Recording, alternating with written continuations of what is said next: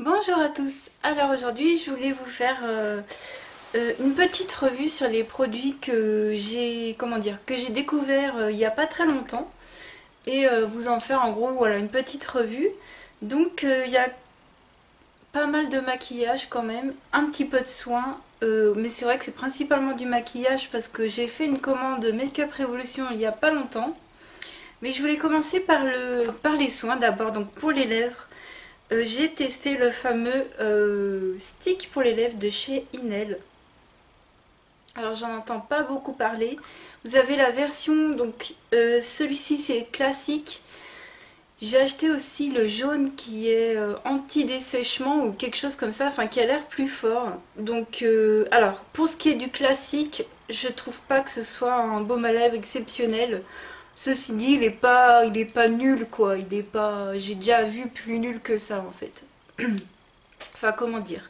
Non, il est pas nul, mais euh, il y a pire quoi. Donc euh, il est, il hydrate ce qu'il faut. Par contre, le soir pour moi c'est tout seul, c'est clairement pas assez. Mais euh, du coup ils font, font pas cher quoi. Donc c'est vrai que pour dépanner ça va bien. Donc je pense peut-être continuer à les acheter pour mon copain s'il les aime bien, mais pour moi, je sais pas trop en fait encore. Mais je vais tester les jaunes et quand, quand j'aurai testé, je vous en reparlerai parce que voilà, je suis encore en quête de baume à lèvres. Voilà, je me suis remise en quête de baume à lèvres. Enfin bon. Ensuite, un, des produits pour le visage. Donc tout d'abord, mon nettoyant pour le soir, c'est le, le Garnier, donc dans la gamme Pure Active. Euh, c'est le gel désincrustant anti-point noir. Donc c'est un petit gel euh, qui a des petites billes dedans, mais vraiment des toutes petites. Donc il n'est pas, trop, euh, il pas trop agressif en fait. Dedans il y a de l'acide salicylique et du zinc purifiant, donc c'est pour les peaux grasses à problème ils mettent. Mais euh, je veux dire c'est...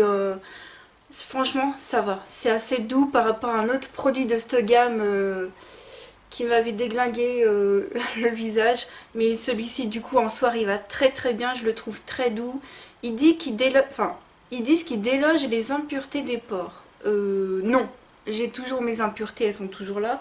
Mais euh, ceci dit, je trouve qu'il nettoie bien sans trop agresser en fait.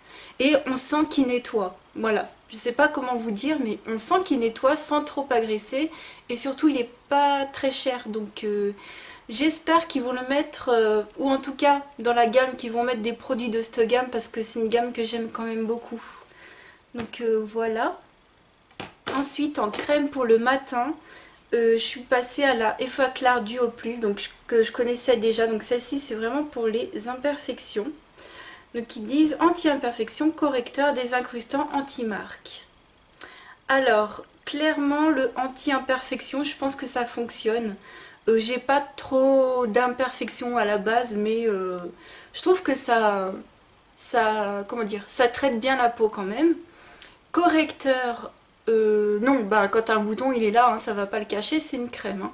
Donc je comprends pas le sens du mot correcteur peut-être. Désincrustant, pareil, ça ne fonctionne pas, c'est comme le nettoyant, c'est... Limite il me faudrait une esthéticienne qui me fasse un soin du visage et qui... Faudra enlever manuellement les impuretés ou voilà ou désinfecter ou je ne sais pas mais euh, désincrustant non c'est pas une crème en tout cas qui va faire des miracles mais je trouve que ça traite quand même bien la peau et enfin, anti-marque, euh, bon ben, je pense que je ne l'ai pas assez utilisé assez longtemps. Je pense qu'il faudrait vider 10 tubes à l'affilée pour euh, voir le anti-marque. Parce que bon, moi j'ai toujours les marques. Ceci dit, je trouve que c'est vraiment un bon soin qui traite euh, vraiment bien. Il a un fini assez matifiant quand même. Ils disent qu'il est ils disent pas forcément qu'il est matifiant, mais je trouve pas qu'il fasse briller la peau. C'est très léger et voilà, c'est vraiment adapté pour les peaux aussi qui ont, du sébum. Ensuite, j'ai testé le fameux masque microbulle détoxifiant euh, de chez Sephora, au thé blanc. Voilà, donc c'est un masque que vous posez et qui va mousser comme une, on dirait comme une mousse à raser. En fait, ça vous fait une couche comme ça de, de masque. Euh, et ça crépite en fait. Voilà, ça fait des petits euh, comme ça, ça crépite. Je trouve que c'est agréable. Euh, je l'ai enfin, voilà, utilisé plusieurs fois, donc c'est sous qu'on pompe. Et il faut bien garder la petite capsule transparente qui vient avec, sinon ça fait, euh, ça fait agir le produit qui est à l'intérieur. Donc euh, quand vous l'achetez, n'oubliez pas de remettre à chaque fois la le petit truc en plastique pour boucher le, le, truc. Et non, sinon pour les effets, j'aime bien. Sauf que, encore une fois, ça fait la peau douce, mais pas Enfin, en fait, j'en attendais un petit peu plus de ce produit. Je crois qu'il y a eu trop de tapage de derrière. Euh, j'en attendais un petit peu plus. Euh, ça fait un moment que je l'ai commencé à utiliser. Et c'est vrai que la première fois, je vous vu la première fois que je l'ai utilisé, j'avais rien vu comme, euh, comme résultat. Et c'est vrai qu'en l'ayant utilisé plusieurs fois, je vois qu'il fonctionne, mais peut-être pas assez. Donc euh, ce que je vais faire, c'est que je vais le comparer à celui de Filorga. Donc c'est ma mère qui s'est acheté le Filorga. Et elle me dit que par contre pour elle, il est un peu costaud. Il est un peu trop peut-être agressif. Donc euh, qu'elle allait peut-être me le passer. Enfin je vais voir, je vais la voir demain. Donc euh, en tout cas je vais l'essayer. et je vous en reparlerai pour vous dire lequel des deux du coup fonctionne vraiment bien. par contre ce qui est dommage c'est qu'on voit pas du tout où on en est. Mais bon, voilà, je suis un peu mitigée en fait là-dessus. Je trouve que le côté euh, qui crépite c'est fun, mais l'action en elle-même euh, n'a pas fait de miracle. Et dernier produit, soin, maquillage, on va dire ça comme ça, c'est les fameuses feuilles matifiantes de chez Shiseido que j'ai testé euh, nombreuses, enfin maintes et maintes fois. Donc vous avez une pochette dedans, vous avez une recharge. Elles sont top. Elles sont dinguissime. Euh, je sais que tout le monde ne les aime pas apparemment. On m'a dit, il y a une personne qui m'a dit qu'elle les avait adorées, que, c'était vraiment son truc euh, qu'elle adorait. Donc moi c'est pareil. Par contre je connais quelqu'un d'autre qui m'a dit que ça n'avait pas du tout fonctionné pour elle et que ça faisait migrer son fond de teint. Donc moi pas du tout en fait. Ça ne fait pas du tout migrer euh, mon fond de teint. Il ne migre pas. Donc euh, voilà, je continuerai à les utiliser, je les trouve bien bien bien plus efficaces que celles de chez ELF. Ceci dit, euh, si vous n'avez pas la peau aussi grasse que moi, je vous conseille de continuer avec ELF parce que ça, ça vaut quand même 5 euros. Euh, en tout cas en solde, après prix normal je ne sais pas. Mais si vous n'avez pas la peau si grasse que ça, juste des papiers comme ça normaux, ça le fera l'affaire quoi. Ensuite, pour le teint, j'ai testé un fond de teint donc de chez Makeup Forever qui a été discontinué mais qui a été remplacé. Donc c'est le fond de teint HD en fait, le High Definition Foundation. Donc voilà. Donc c'est, euh, il a été remplacé par le Ultra HD. Donc qui disent que c'est un fond de teint couvrance invisible. Je le porte aujourd'hui et franchement euh, je l'ai utilisé plusieurs fois bien sûr. Hein. Euh, je trouve qu'il est euh, pas mal. Je trouve qu'il est pas mal. En tout cas, ce que j'aime bien, c'est qu'il ne migre pas. Malgré ma peau, euh, ma peau grasse, il ne migre pas, il tient bien. Alors la couleur, c'est ma teinte du moment, parce qu'en fait, c'est pas ma teinte, c'est pas ma teinte d'hiver, c'est une teinte plutôt d'été. mais qui a un sous-ton rosé, je trouve. Donc ce qui fait que quand je le pose, on voit un petit truc, on se dit ah ça fait un petit peu bizarre parce que moi c'est vrai que j'ai plutôt des sous-teintes euh, neutres un peu jaunes quoi. Donc c'est vrai que quand je le pose, ça fait un peu bizarre mais vous voyez qu'ils se font parfaitement en fait après. En tout cas l'intensité de la teinte se font parfaitement et au final comme je mets euh, du bronzer et tout, de la poudre, euh, on voit pas du tout de différence donc je l'aime bien. Après, comment vous dire? Voilà, je l'aime bien, il a une texture assez légère, il, a une couvrance euh, légère à moyenne. Il va pas couvrir vos boutons, ça c'est clair. De toute façon, un fond de teint qui, couvre les boutons, moi c'est pas ce que je recherche de toute façon, puisque j'utilise un correcteur. Mais euh, je cherche une couvrance assez légère et ça j'aime parce que c'est pas il n'y a pas d'effet cakey en fait donc c'est un fond de teint vraiment pour tous les jours qui est très très bien c'est pas un fond de teint qui va vous faire un teint miraculeux mais pour tous les jours c'est c'est vachement suffisant. Je pourrais pas vous dire quelle teinte j'ai. N135 peut-être? Je crois que c'est ça les références. En tout cas, c'est un fond de teint euh, vraiment pas mal que j'avais eu en solde. Donc j'avais vraiment pas payé cher. Après de la racheter euh, le Ultra HD, non. Non, clairement pas. Enfin, en tout cas pas au prix Ford. Mais euh, c'est quand même un bon fond de teint qui fait une jolie peau. Mais voilà, sans plus. Ensuite, pour les yeux, alors, on va passer au mascara. Donc j'ai testé le fameux euh, mascara waterproof de chez Revlon. Donc celui-ci fait volume et longueur et euh, franchement, alors niveau waterproof, il est top, il est génial. Alors euh, je pense que vous pouvez vous baigner avec, j'ai pas essayé, j'ai pas essayé sous la douche ou quoi, mais euh, avec les fortes chaleurs qu'on a eues, là ça s'est calmé. Aujourd'hui, je peux vous dire qu'on est content parce qu'on ne commençait plus à en plus pouvoir quoi. Mais il tient extrêmement bien, il fait pas vos cils trop figés quoi. Je trouve qu'il... Alors, il fait pas un volume de fou, il fait pas une, longueur pareille de fou, mais il a quand même... Euh, je trouve qu'il fonctionne quand même très bien, que c'est vachement suffisant pour euh, quand il y a des fortes chaleurs et qu'on va à la plage ou quoi, ou qu'on se balade. on n'a pas forcément trop envie de se maquiller. Moi, je mets moins de maquillage. Et le fait d'avoir ce mascara, ça suffit amplement, en fait. Comme je cherche pas euh, à avoir un maquillage qui se voit beaucoup comme aujourd'hui, je trouve que c'est très très bien. Euh, voilà, après volume et longueur, il le fait un petit peu. Je trouve que son point fort, c'est vraiment la tenue. En tout cas pour moi. Voilà. Ensuite, deux petits vernis. Je voulais vous faire un petit retour sur ces vernis euh, de la Beautiful Box que j'avais testé. Donc j'ai la teinte Pink Marshmallow et Sky is the Limit. Donc euh, c'est des teintes très pastel, un petit bleu pastel, un rose pastel. Et alors ces vernis, ils ont une texture trop bizarre en fait. On dirait un peu du blanco au départ quand tu le mets, ça fait trop bizarre, ça fait un peu des traces. Faut bien mettre deux sur certains ongles à trois couches.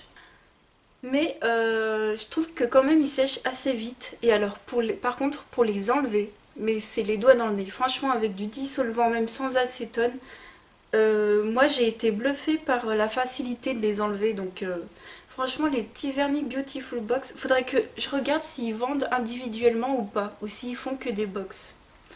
Voilà, en tout cas j'aime beaucoup, malgré qu'il faut faire plusieurs passages sur certains doigts quand même. Ensuite, je voulais vous parler euh, d'un correcteur, donc de chez Makeup Revolution. C'est le Focus and Fix Liquid Concealer. Donc voilà, c'est de chez Makeup Revolution hein, que j'ai acheté il n'y a pas longtemps. Et c'est en teinte 02 fer. Voilà. Donc c'est une teinte assez jaune en fait. Je m'attends... Enfin ouais, assez jaune. Mais euh, ça va très très bien. La teinte... Euh, ça va très très bien. Du coup, euh, ça peut neutraliser les cernes. Par contre, je vous fais un swatch. Par contre, c'est pas assez couvrant. Hein. Vous voyez? Enfin, c'est ça n'a rien à voir par exemple avec le Sephora qui est haute couvrance quoi. Hein. Donc c'est vrai que je suis un petit peu déçue parce que je pensais, voilà, je l'ai un petit peu étalé, vous voyez, on voit les, on voit ma peau quoi, enfin c'est, voilà, donc déçue de ce petit concealer. Bon moi j'ai pas des cernes de fifou donc euh, ça va très très très bien le faire pour cette saison et puis euh, voilà, mais bon, voilà, j'étale, j'étale, j'étale, et là j'ai l'impression que j'ai voilà, plus rien sur la main. Ouais, je m'attendais un peu du style, euh, du, enfin, ouais, c'est bête, je m'attendais un peu à un truc genre Sephora, quoi. Je me suis dit, allez, peut-être trouver à moins cher, mais en fait, euh, non. Donc je suis un petit peu déçue par ça, mais euh, je vais l'utiliser quand même. Et enfin, je voulais parler simplement de mes sourcils. Donc, pour terminer, pour mes sourcils, j'avais déjà acheté ce crayon de chez Kiko. Donc c'est le Precision, donc c'est un eyebrow pencil. Bah oui, c'est un crayon à sourcils. En français, c'est mieux en fait. Voilà, un crayon à sourcils en teinte 02. Vous avez un goupillon et le, et le crayon d'un côté. Il est très très petit comme crayon, il est très fin. Je sais pas si vous vous en rendrez compte par rapport à la taille d'un crayon normal. J'ai pas de crayon normal. Il est très fin, du coup c'est bien. C'est vraiment très très bien, très précis, la teinte est parfaite. C'est ce que je porte aujourd'hui avec d'autres produits que je vais vous montrer. Et ça, c'est la base vraiment du maquillage de mes sourcils. Donc, euh, franchement, j'adore. J'ai descendu d'une sous-teinte, on va dire. Aujourd'hui, j'ai fait un tout petit peu plus clair que les vidéos précédentes. Et euh, j'aime beaucoup la combinaison que j'ai fait aujourd'hui. Ça, c'est vraiment la base de mes sourcils. Et euh, j'aime beaucoup. J'aime vraiment beaucoup parce qu'en plus, c'est pas très cher. Ensuite, j'ai testé ce petit... Euh, donc, j'ai mis le crayon et ensuite, j'ai voulu tester... Alors, en combo, parce que tout seul, ça ne va pas. J'ai testé le Ultra Aqua Brow Tint de chez Makeup Revolution. Donc c'est un produit à sourcils liquide euh, qui est longue tenue. Donc moi j'ai la teinte... Euh, j'ai la deuxième teinte.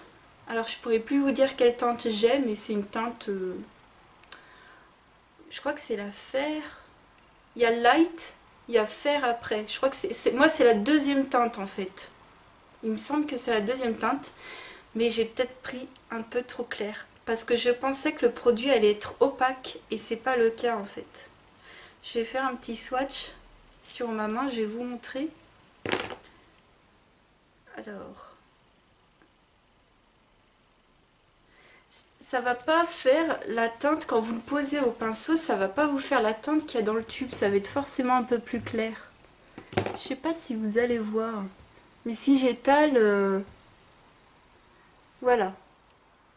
En fait, on voit une différence avec euh, mes sourcils. Donc c'est, voilà, ça fait genre j'ai une base claire. On voit mes sourcils fond, enfin les poils de mes sourcils foncés. C'est franchement c'est moche, c'est super moche. Euh, ceci dit, je mets mon crayon, je mets ça par-dessus avec justement le pinceau biseauté de chez Makeup Revolution que j'ai acheté qui est très très très bien. Hein. C'est un pinceau biseauté très très bien. Euh, mais voilà, je mets mon crayon, je mets ça vraiment pour faire les petits, détails. Et c'est vrai que c'est très précis en fait de travailler au pinceau. C'est pour ça que j'aime bien euh, ne pas avoir qu'un seul crayon en fait, d'avoir d'autres trucs pour travailler après. Euh, après, vous pouvez très bien mettre juste le crayon et un mascara à sourcils, ça va très très bien aussi. Mais moi, j'aime bien euh, ne pas faire trop maquiller en fait. Et euh, c'est vrai que travailler avec plusieurs textures, je trouve que ça fait les sourcils un peu plus naturels. Donc je l'utiliserai mais en combo avec d'autres produits pour faire vraiment les petits détails. Et alors le produit qui me permet de faire des sourcils plus naturels, vraiment sans que ça fasse trop crayon, c'est de la poudre en fait. Tout simplement parce que la poudre c'est pas précis en quelque sorte. Et du coup, ça fait que euh, je peux bien travailler. Et alors, cette palette de chez Kiss que j'avais eu dans une Beautiful Box, vous voyez comment je l'ai creusée. Je l'adore. Littéralement, c'est, c'est, je peux pas m'en passer. Donc, au début de mes sourcils, je mets un peu ça là où il me manque des poils, en fait, parce que c'est de la même couleur que mes poils. Et sinon, là où j'ai des poils, je mets simplement celle-ci. Euh, pour pas que ça fasse des sourcils trop foncés par rapport à ma teinte. Et euh, voilà, donc ça va très très bien. C'est ce que j'ai utilisé aujourd'hui encore, dans toutes les vidéos précédentes aussi. Sauf que j'ai mis un peu plus du clair que du foncé.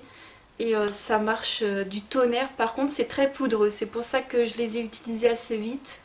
Je trouve que par rapport à ceux de chez Sephora que j'avais avant, je trouve qu'ils s'utilisent un peu plus vite. Mais les couleurs sont vraiment très bien. Et je sais pas ce que vous en pensez de mes sourcils aujourd'hui mais je trouve qu'ils sont d'une plus belle couleur que dans les vidéos précédentes.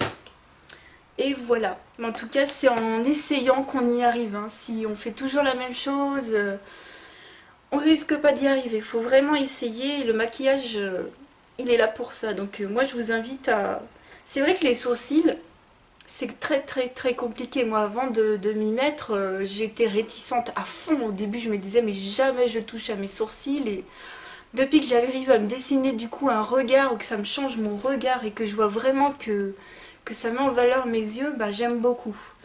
Donc euh, voilà, en tout cas je vais continuer ma quête de produits euh, sourcils. Hein.